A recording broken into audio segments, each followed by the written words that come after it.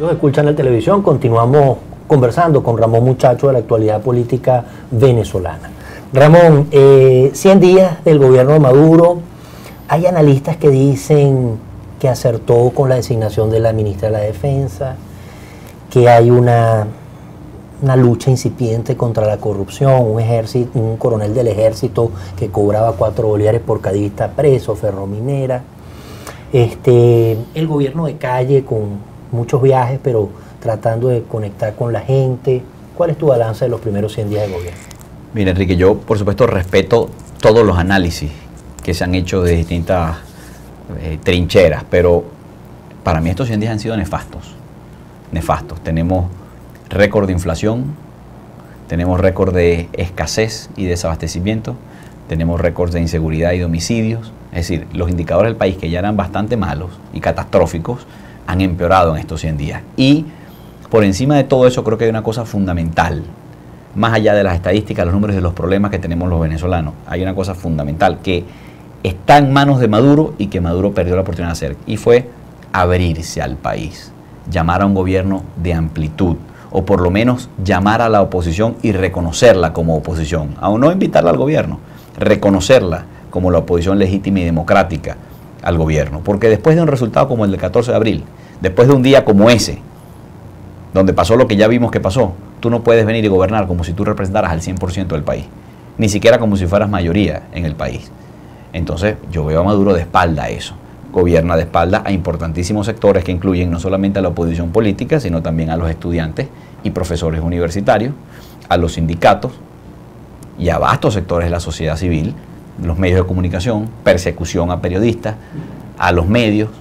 Entonces, oye, ¿Qué es lo más significativo de estos 100 días? Bueno, además de que se han agudizado todos nuestros problemas, que Maduro perdió la oportunidad de hacer lo más importante, que era convocar al país. No lo hizo, está gobernando de espaldas. ¿Cuánto tiempo más puede gobernar de espalda al país? No tuvo luna de miel entonces, esa famosa luna de miel después de que ganas una bueno, elección. Y si esta fue la luna de miel, no te quiero contar cómo hace el resto del matrimonio, porque es posible. Hay, hay quienes dicen que se acaban de que, se, que lo que se ahorita fueron los mejores 100 días del gobierno de Maduro. Imagínate tú si eso es así entonces qué es lo que nos espera, ¿no? Ahora, esa gente que dice, bueno, mira, vale, pero al final tiene los militares, el petróleo sigue por encima de, de, 100 dólares por barril, pareciera que la política de precios apretados de Jordania y Merentes no le gusta y van a empezar a correr precios, a dejar que la gente, el mercado funcione mejor. Va con CICAT, no, no, llega a, hacer algo muy potente desde el punto de vista de las necesidades, pero refresca un poco el tema de las importaciones. Eh, ¿Dónde ves tú mm, mayor eh, dificultad para Maduro?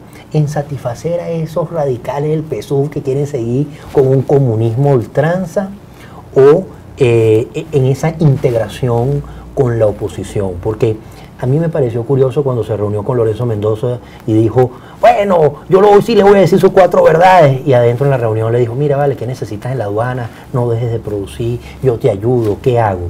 él pareciera que eso es algo emblemático de cómo tiene que gobernar él. Por un lado, hacia el mercado y hacia los factores que hacen vida en el país y por el otro lado hacia los factores internos que le reclaman que el comandante siga vivo. Mira, por cierto que yo no sé si él le dijo cuatro verdades a Lorenzo, pero Lorenzo Mendoza sí le dijo a él algunas y yo y para mí la más fuerte de todas fue cuando Mendoza le dijo, mira, Maduro, ¿tú quieres que haya comida? Dame una de esas plantas que tiene el gobierno y que no producen para yo ponerla a producir. Véndemela o alquílamela para poner a producir. Porque lo que le dijo ahí fue, básicamente, todas esas tonterías que hizo Chávez por 14 años no sirven para nada.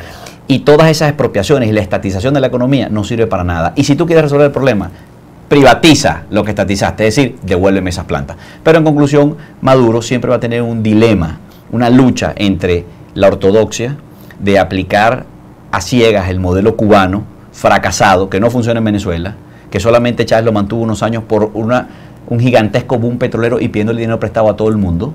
Pero ahora ni siquiera el boom petrolero alcanza y hay que seguir pidiendo dinero prestado y cada vez hay menos disposición de los chinos y de otros a prestarnos. Maduro siempre se va a batir entre ese sistema que no funciona o hacer un giro que lo lleve a abrirse. Él decidirá. Pero lo importante aquí al final del día, Enrique, es que tú vayas a los naqueles y haya comida. El venezolano, la única pregunta que se va a hacer es, ¿hay harina? ¿Hay leche? ¿Hay comida? ¿La puedo pagar con mi salario? con el fruto de mi trabajo? ¿Hay trabajo? Esa es la pregunta. Lo demás queda para nosotros los analistas y los políticos. A la gente lo que le interesa es eso. Yo necesito mis necesidades cubiertas. ¿Están cubiertas hoy las necesidades de los venezolanos? ¿Está haciendo Maduro lo que tiene que hacer para que en tres meses, en seis meses, en un año estemos mejor que hoy? Yo no lo creo. Esperemos, ya lo veremos. Yo no lo creo. Claro, el tiempo será el, el, que juzgue. El tiempo lo dirá. Y, eh, la evidencia, todo, todo lo sufriremos para bien o para mal. Así es. Ojalá sea para bien, porque queremos el bien para el país. Ojalá sea. ojalá rectifique, ojalá haga lo que tenga que hacer para que el país salga adelante. Ojalá, ojalá. Bueno, agradecemos a Ramón Muchacho, político eh, dedicado pues ya eh, de entero a, esta recta final hacia las elecciones en Chacao. Y, bueno, muy, muy, muy acucioso y muy preocupado por todos estos temas eh, nacionales que se inscriben también dentro de la realidad del propio municipio de Chacao. Gracias, Ramón. A ti, Enrique.